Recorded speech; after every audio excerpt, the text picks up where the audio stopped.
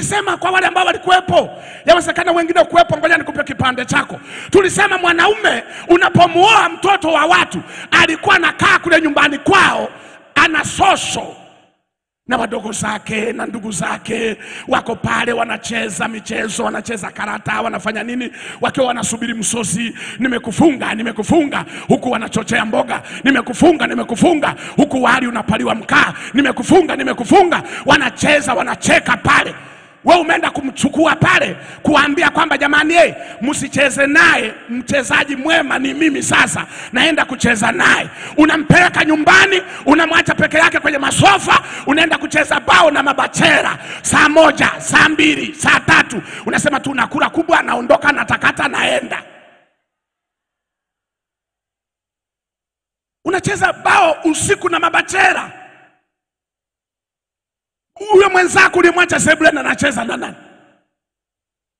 Nikamwambia kama wewe unapenda bao na karata, mfundishe mkeo, ili kabla ya kulala mfungane kwanza, ndo mkalale. Amen. Sasa unamwacha mke wako peke yake, mwisho na yeye anaanza kutafuta kampani zake sasa anaanza kuita akina Joni, akina Musa, akina nani, mwe mnakuja na kunitia moyo, huwa nabakigi peke yangu. Kwa hiyo wanamtia moyo, kwa hiyo wana, wanamtia moyo, ndio wanamtia moyo. Nilisema Jumapili, kwa hiyo usishangae vitoto vinazaliwa vina kichwa cha tikiti wakati we kichwa chako cha papai. Kwa hiyo usiulize hiki kichwa cha papai kilitoka wapi. Ulipoingia kingi kule, wakaingia kingi na wao kule ulipotakata na kula kubwa ukaondoka ukarara, na wao wakara kubwa wakaondoka wakarara.